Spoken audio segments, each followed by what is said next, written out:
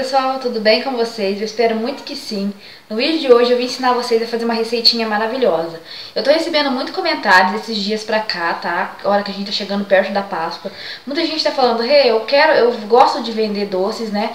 Só que o meu ponto forte de vender é geladinho. E nessa Páscoa eu quero muito tirar uma renda extra, eu quero saber se tem como vender geladinho na Páscoa, ou essa chocolate, bombom, ovo de Páscoa. E pessoal, é, vende bastante também, tá? Eu dei uma pesquisada aqui, geladinho sai bastante.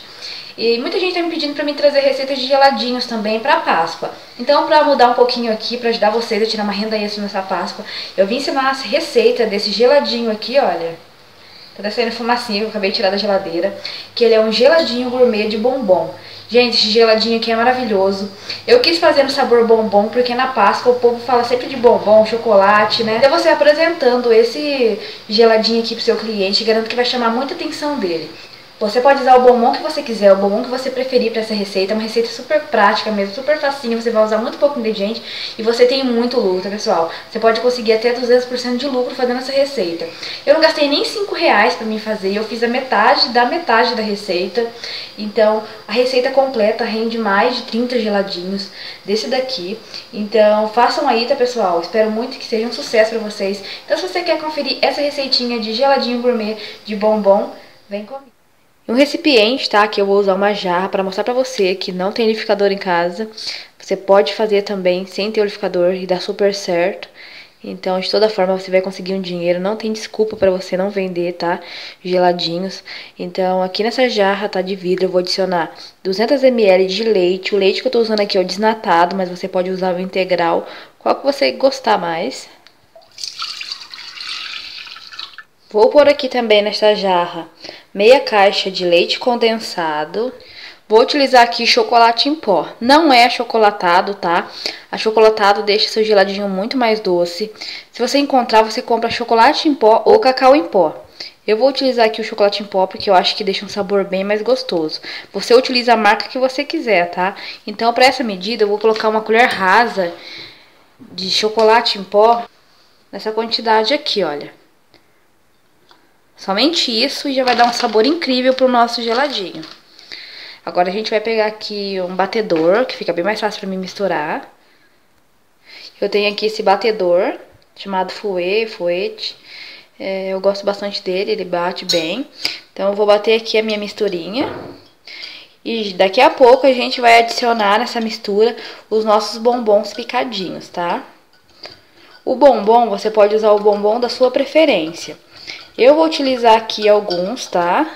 De uma marca que eu gosto bastante. Só que você pode usar o sonho de valsa, o ouro branco, pode usar o bis. Você pode usar qualquer tipo de bombom. Ainda mais agora para Páscoa, é, esse geladinho de bombom chama bastante atenção da criançada, né? Então eu vou bater aqui e já volto. Bom, pessoal, eu vou usar esse bombom. Eu piquei todo o meu bombom aqui no prato. Pra quem não sabe qual é esse chocolate, é esse daqui, olha. Eu não sei se você já ouviu falar. Muita gente vai me perguntar qual chocolate que eu usei. Foi essa marca, é uma marca incrível, que eu gosto bastante. Mas você pode colocar o bombom da sua preferência, tá bom? Esse daqui tem um sabor bem dark mesmo, sabor meio amargo, bem gostoso.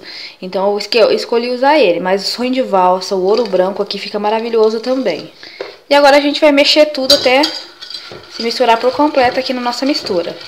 Bom, pessoal, a nossa misturinha está aqui, olha. Aqui tem um funil pra gente encher os nossos saquinhos. E eu vou usar esse saquinho aqui, olha, que é o padrão, pra me encher.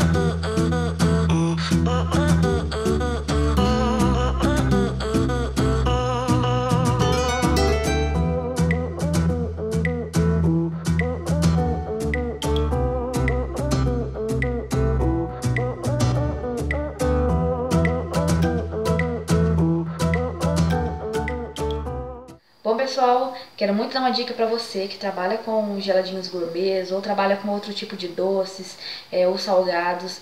É, se você quer se profissionalizar na área de geladinhos gourmets, eu quero muito apresentar um curso de geladinhos gourmets para você que vai te ajudar a faturar até 5 mil reais por mês.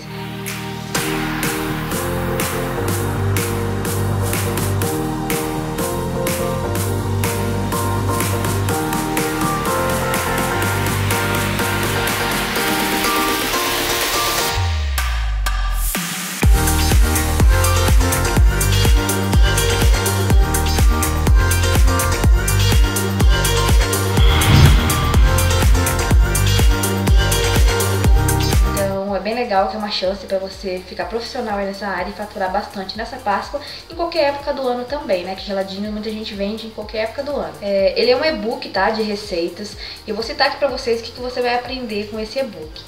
Nesse e-book você vai encontrar receitas detox, você vai encontrar também receitas populares e receitas, tá? De geladinhos alcoólicos para quem gosta de vender. Vou citar aqui para vocês o que, que você vai encontrar nesse livro. Você vai encontrar receitas de geladinho, mais 50 receitas, 100 páginas ao total desse e-book. Você vai aprender também quanto cobrar em cada geladinho. Você vai aprender também receitas alcoólicas e fits. Você vai aprender também tudo sobre embalagem dos seus geladinhos, qual é melhor para você usar, né? Você vai aprender também geladinho detox, e o legal também é que esse e-book ele vai te ensinar a calcular, tá? Ele vai te dar uma planilha calculadora de preços para você dar o seu preço final ali de venda, para você calcular seu preço do seu geladinho. E o mais legal ainda é que esse e-book ele conta com 5 bônus. Você adquirindo ele, você vai ganhar 5 bônus incríveis. Então eu vou deixar o link aqui na descrição para você conferir, tá? Vai estar também aqui nos comentários fixado para você encontrar mais fácil. Mas eu super indico, tá pessoal? É, muita gente vende geladinho gourmet, tinha uma renda extra bem legal. Então nada melhor que você ter várias receitas para você testar e para você oferecer para seu cliente também. Então, se você tiver interesse, o link vai estar aqui na descrição do vídeo ou nos comentários fixados.